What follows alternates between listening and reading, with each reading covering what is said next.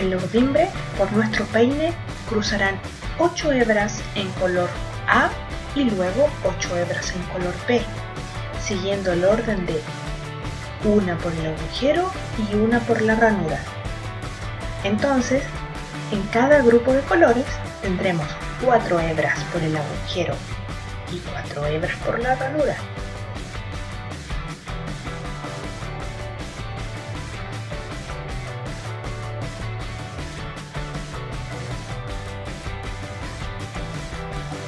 Ordenamos la urdimbre con una trama falsa y hacemos la cadeneta para empezar a tejer.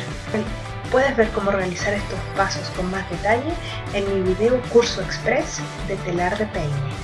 En la primera línea de tejido lo que haremos será cruzar la naveta de forma normal por las hebras marrones, pero en las cuatro hebras blancas que vienen a continuación, la primera la forzaremos hacia abajo, las dos segundas las tejeremos normal y la cuarta hebra también la tejeremos hacia abajo. Eso repetiremos en todas las franjas blancas. Eso quiere decir que en esta primera línea de tejido, como ves, las dos hebras del medio siempre quedarán arriba.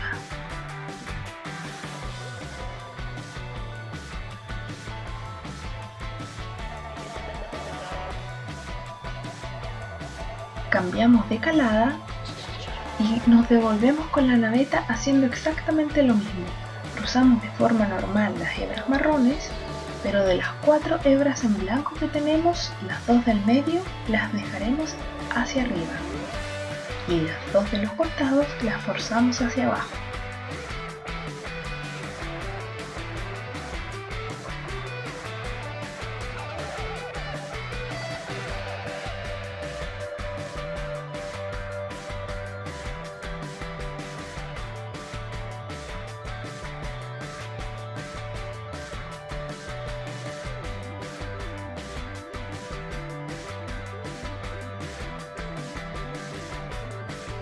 Repetiremos este ritmo de tejido hasta completar 5 líneas.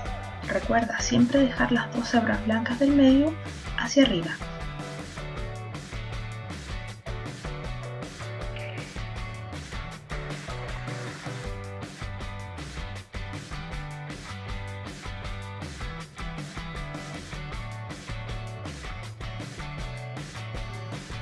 Ahora haremos un cambio en nuestro diseño.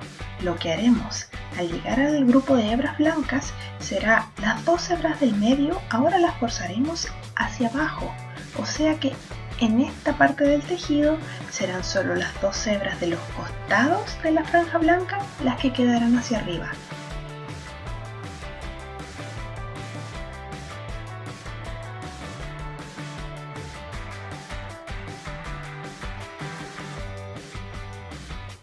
Repetimos, nuevamente dejando las dos hebras del medio de la franja blanca hacia abajo y ya podemos apreciar cómo se comienza a dibujar un nuevo diseño en nuestra trama.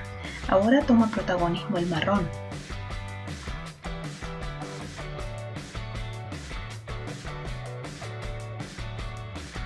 Dejando las dos hebras blancas de los costados hacia arriba, repetiremos hasta completar cuatro cruces de naveta.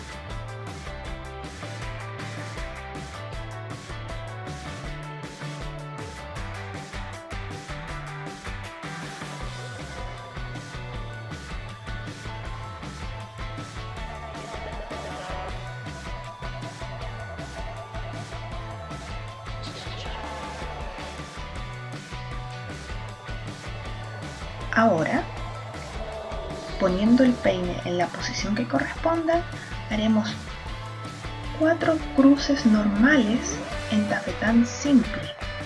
Después de terminar las líneas de tafetán simple, vamos a repetir el punto para que se vaya formando este patrón a lo largo de nuestra tela, o sea, dejando las dos hebras blancas del medio hacia arriba, repitiendo esto cinco veces y luego repitiendo cuatro veces dejando solo las dos hebras blancas de los bordes hacia arriba.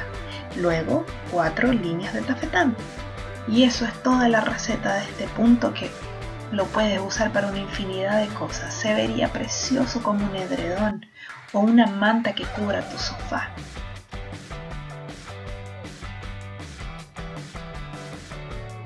Usa la imaginación, mezcla colores y muéstrame en Facebook o Instagram lo que vas a hacer con este punto.